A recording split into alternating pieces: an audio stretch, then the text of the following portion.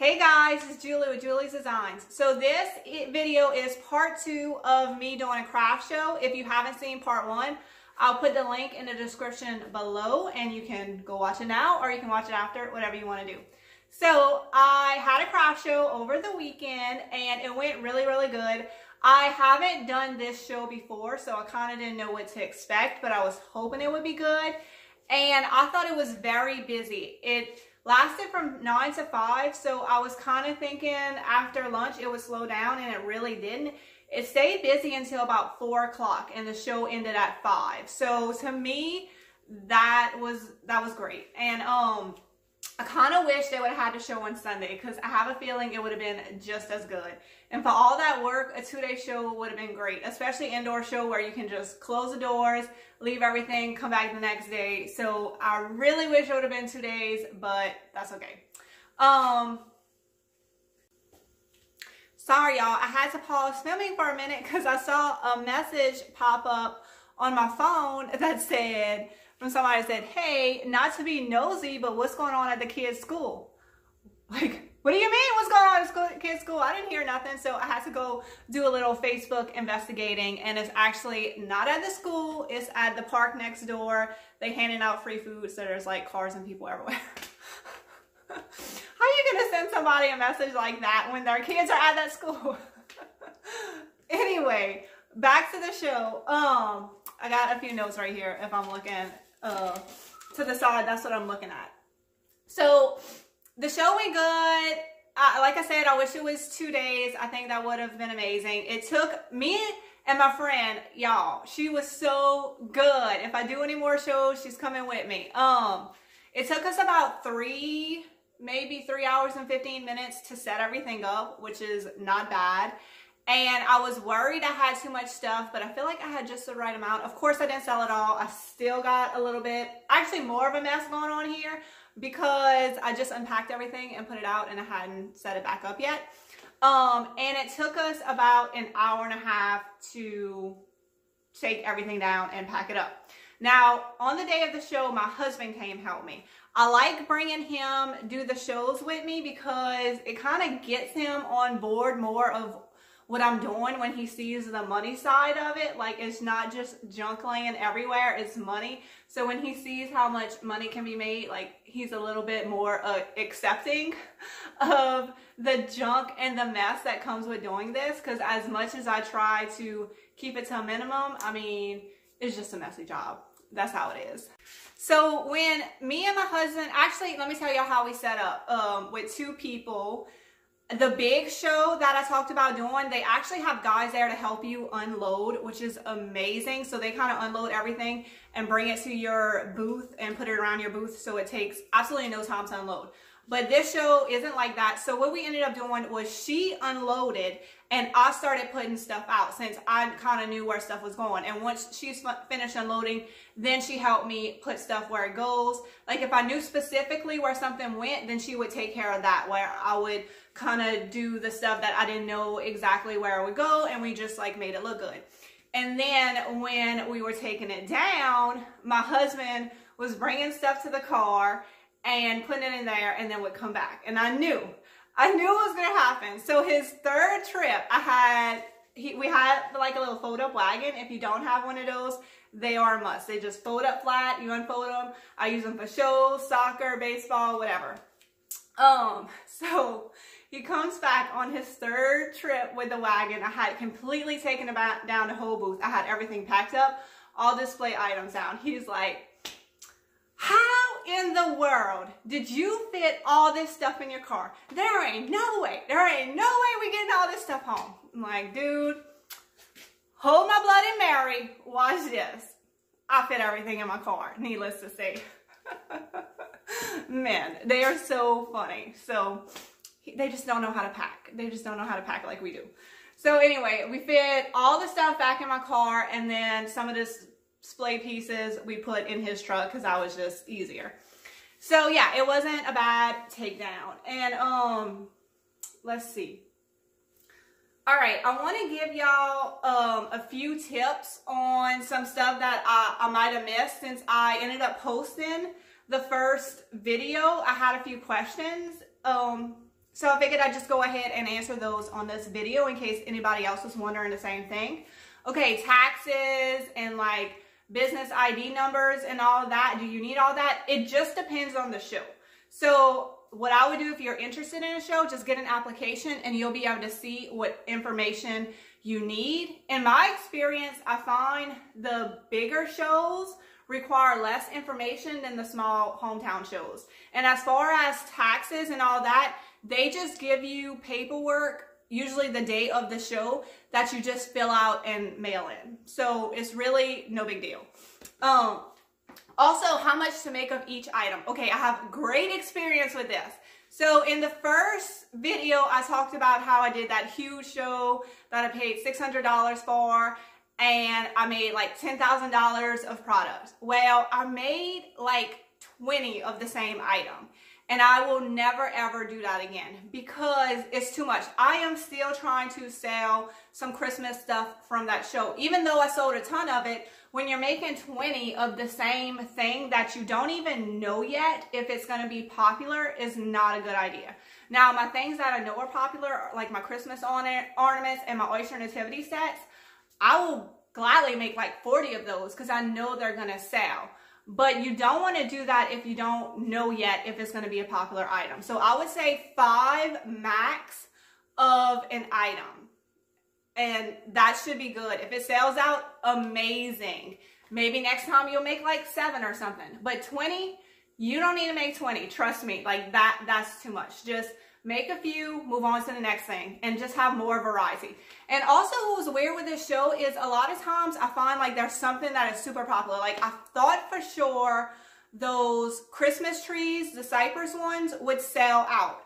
I mean, I did sell some, but there was nothing that was super popular. Not even my ornaments or my oyster nativity sets were like overly popular. Like everybody just bought a little of everything. It was a little bit strange, but that's fine. Um, so yeah, I thought that was a little bit weird. But I talked to a lot of vendors and they said this year's just been, it's been weird. Like it hasn't been like the normal shows they've done in the past. Uh, the buyers are different. People are different with their money. So I don't know. I mean, it's fine. Like I'm cool. I sold about half my stuff. If like one item didn't sell out, that's okay. Um, you also definitely want to make friends with the vendors. I love walking around, talking to vendors they will tell you what shows uh, they've done best at so you can kind of see what else is around you and what experiences those people had at those shows. That is a great thing to do if you want to do more shows. And I always, vendors are also your customers. I always give my fellow vendors a good deal if they want to buy anything. I also try to go and shop for from them as well. Y'all want to see a few things I bought? Mostly for the baby because, you know, that's fun. So she actually already wore this and it looked adorable on her. Look at the back. How cute. So I bought this. I didn't have too much time to walk around, so I pretty much just shopped the people right next to me because like I said, it was busy almost the whole time.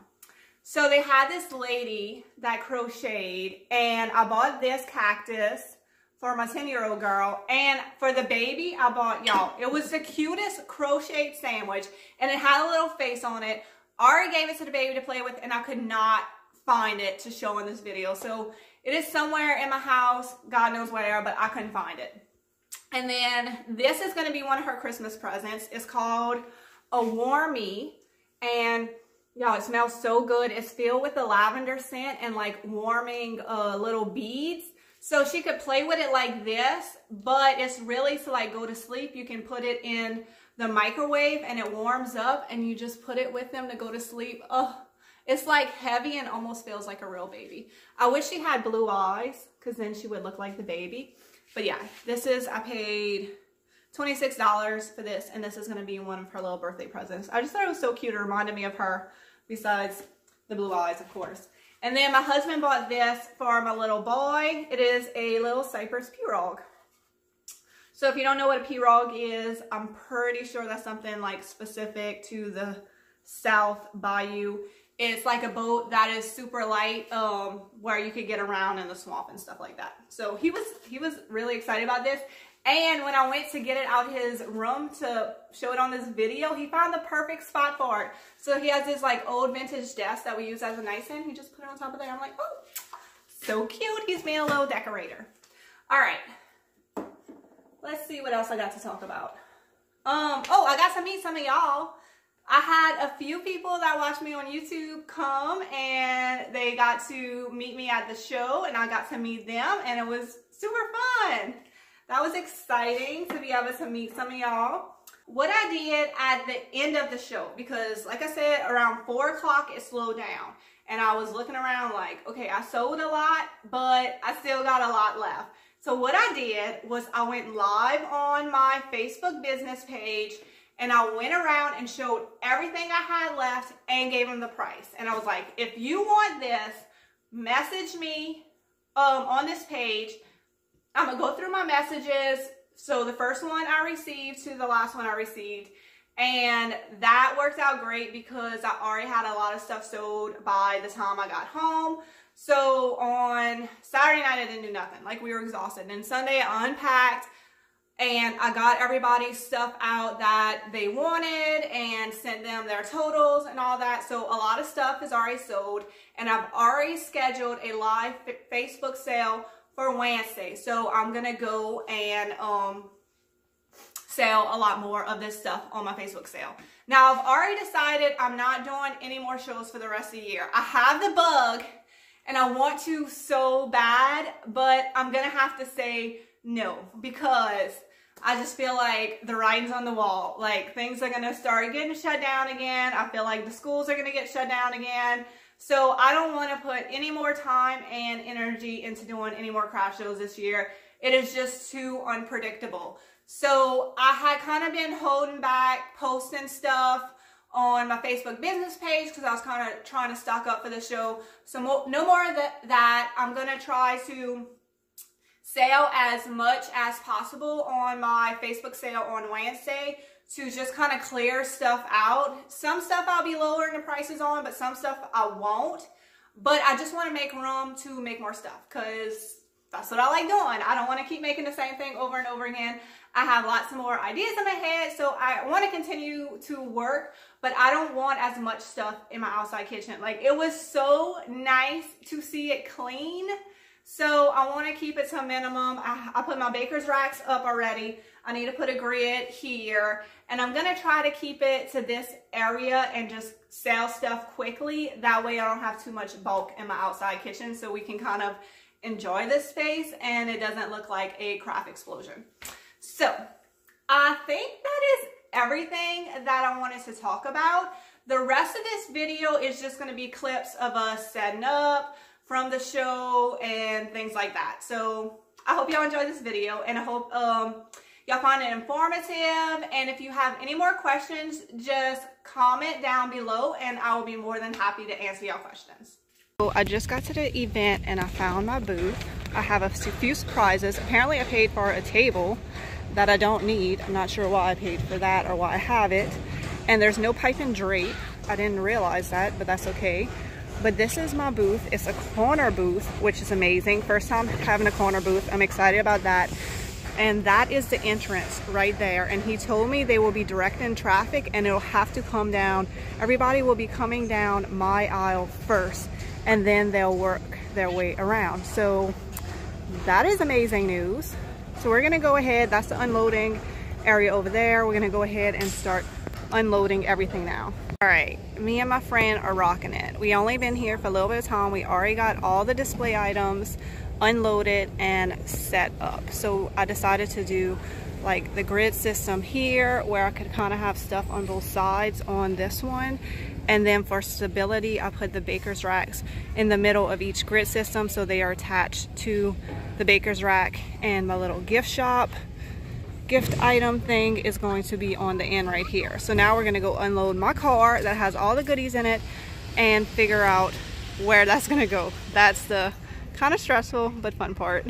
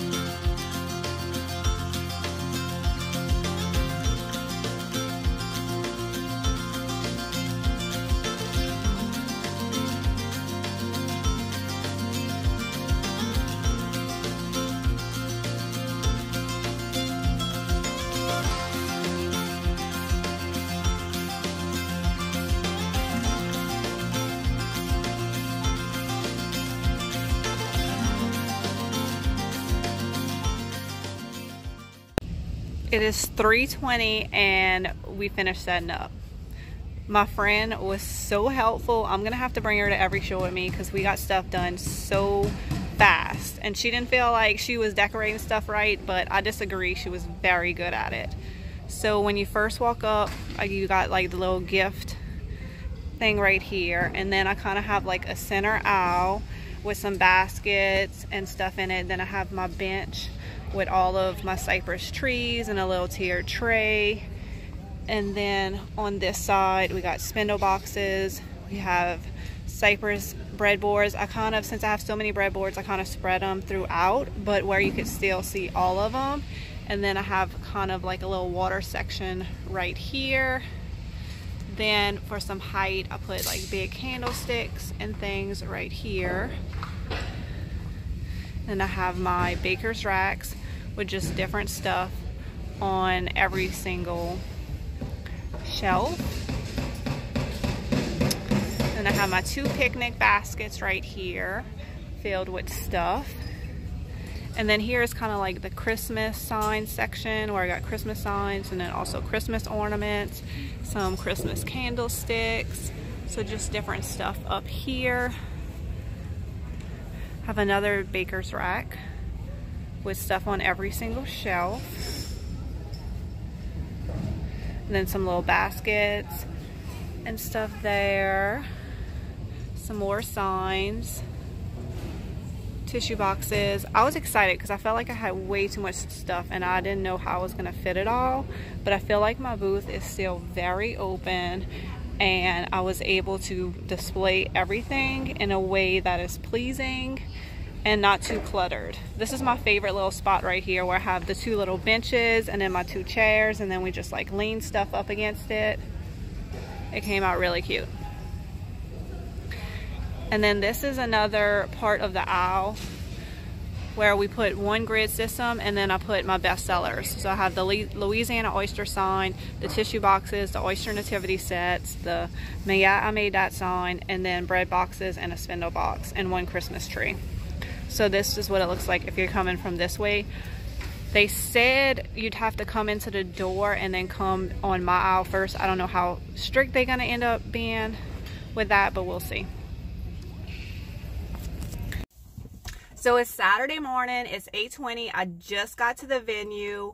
Um, I stopped at Subway to pick up breakfast. You wanna make sure you eat good. I usually don't eat breakfast till nine, but um like i don't know when i'm gonna get to eat again so i picked up some food for me and my husband he's on his way he's coming in his truck i mean hopefully i sell a lot of stuff and don't need two vehicles to bring everything home but you don't want to take that chance so he's coming in his truck he's going to be helping me for the day and yeah, I, all everything's set up. So all I have to do is go in. I'm gonna sit in my car, eat my breakfast. I'm gonna go in, just make sure everything still looks good. Just get myself ready. Maybe shop a little bit. So yeah, it definitely helps to go set up the day before because then literally all you have to do is get here and it's stress free. So that's always great. All right, well, I am going to eat my breakfast and I will see y'all inside. Yay!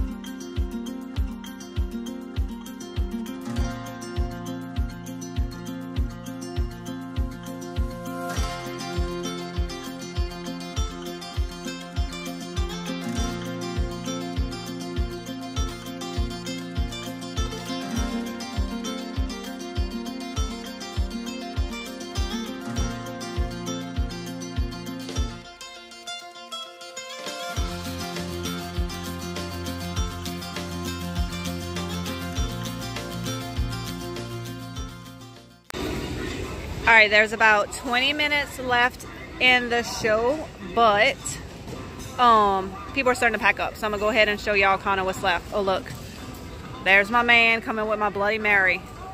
You know we in Louisiana when they selling Bloody Marys at a craft show. Ooh, ooh, look at that. Yes, we're gonna drink and pack up. That's how you do it around here.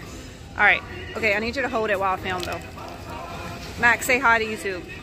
Hello, YouTube. So it, it looks like I got a lot left, but I sold a lot. I mean, it doesn't matter how much you bring or how little you bring, there's still gonna be stuff to pack up. So, but what I did was I went live on Facebook just now. So that way, hopefully a lot of this stuff I have left over will be sold. Of course, I gotta pack up. I won't be able to check my messages till later, but my phone was going crazy. So hopefully I sold a lot of this. You can see there's a lot of empty spaces. I have a few trees left, not many. These benches didn't sell, but I'm not 100% sure people knew they were for sale. But I don't mind because they look so adorable in my booth. This wreath is still here, and if it doesn't sell on the live, I'm keeping it because I just love this. Doesn't it look like baby's breath? Adorable. So, yeah, good show. I'm very happy. I haven't counted my money yet. So I don't know what I made, but I feel like I did well. All right, I'm gonna drink my Bloody Mary while I pack up. Okay, I realized I didn't talk about what I made at the show, which I'm not gonna tell y'all exactly what I made, but I did very, very well. I went, so the, in the first video, I talked about how you should make at least 10 times the amount that you paid for the show and I made way more uh, product than that and also sold more product than that. So for me, that is definitely a success. And I did half cash and almost exactly half credit card. So if you do not have a Square, you definitely should have one of those if you're doing a show. Now they do take a percentage of your sales. I can't remember if it's like 5% or 2% or something. But y'all, it doesn't matter. Like you're tripping over dollars to save pennies if you don't get one of these cards because I would have lost all those sales had I not done it. So yeah, you definitely want to get one of those. You want to make sure you have change. Oh, when you take cash, and then I also had like my Venmo QR code, so people, the younger generation just loves that Venmo. So all they do was scan that and they Venmoed me. So that was super easy. So yeah, I just wanted to quickly add that into this video. Thanks for watching and give this video a big thumbs up.